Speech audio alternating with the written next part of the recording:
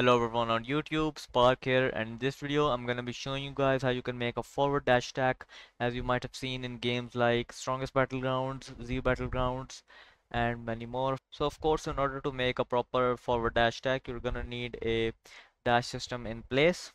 I've already made a video on how you can do that. Go check it out. The link will also be in the description.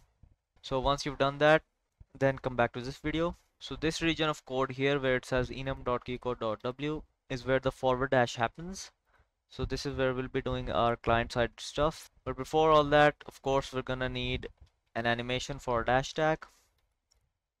I have this dummy right here with an animation which I'll be using. Another thing I want to mention for the animation, whichever animation you're using, is that it needs to have a marker. I've named this marker hit we're gonna need this marker later on. So first let's export that. Save Roblox.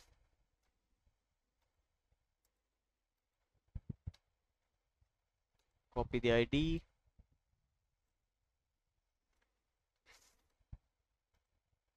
I already have a folder for my animations I'm gonna put it in dashes. So that's in place now. We need to add it in this animation table as well. This is where the dash animations are stored.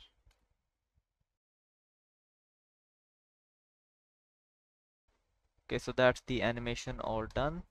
So as you can see on this line we wait for the forward dash animation to stop so once it's stopped, that's when we want the dash attack to happen. So what we're gonna do here is just play the animation. So great, the animation will play as soon as the forward dash ends. Now we're gonna add an empty variable here named connection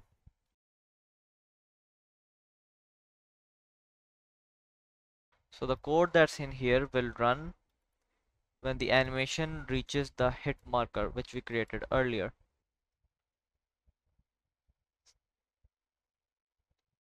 Now again we're gonna need to go into replicated storage then create a folder named remotes. I've already made one. Add a remote event there name it anything you want. I'm gonna name it dash attack. And then we're gonna add it to our code local dash remote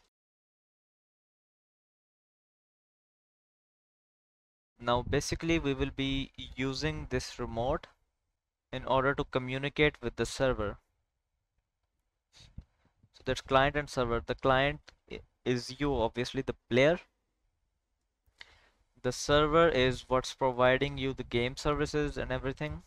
So we want the hitbox and stuff to be cast on the server side which basically means that the hitbox will be there for everyone else as well. So, uh, so that's everyone else that's in your game. If we do all that on the client side it will only happen for you the user. So since we want the dash attack to harm our, our opponent. We will of course need a remote event to communicate with the server and cast the hitbox here.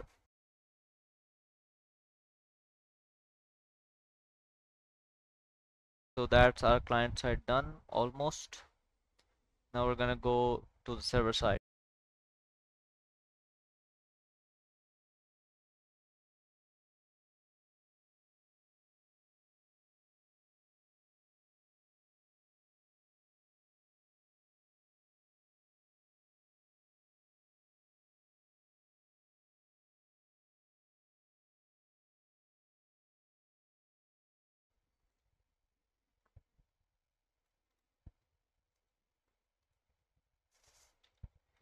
Okay, so on the client side, we played the dash animation and when it reached the hit marker, we fired a signal to the server through the dash attack remote, when it gets the uh, signal the player is automatically passed to the server.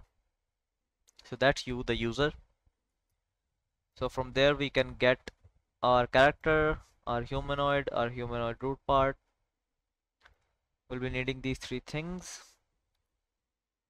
And here I've defined parameters. So this is what we'll be using to cast our hitboxes. Here I've set the filter type to exclude and I've added our character to this table. So this basically means that when the hitbox is cast it will ignore our own character. So now we will actually cast the hitbox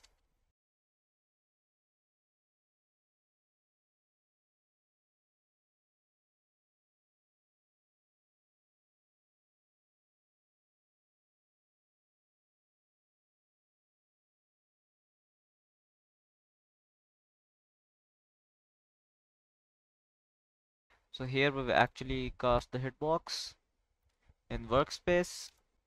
This here is the position of our hitbox. It's in front of our character.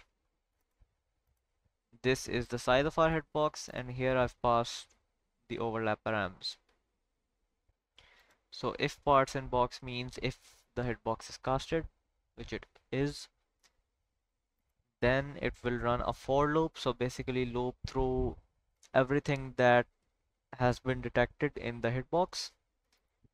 If its name is humanoid root part so basically every other character just like your own character will have this in them. So if it's detected then we're gonna put the root part of our opponent in this variable right here as well as their humanoid so that we can actually damage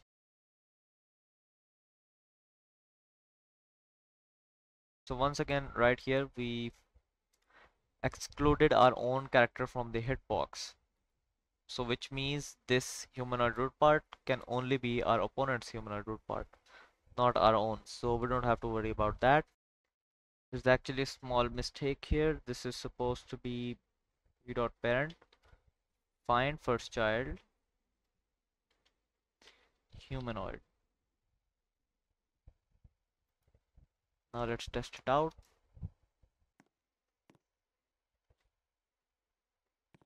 As you can see, the dummy took some damage. So the dash attack works. So obviously there's stuff missing from this dash attack like effects, sound effects, and stun and lag. So for all that I'm gonna make a part 2 in which this dash attack will be complete.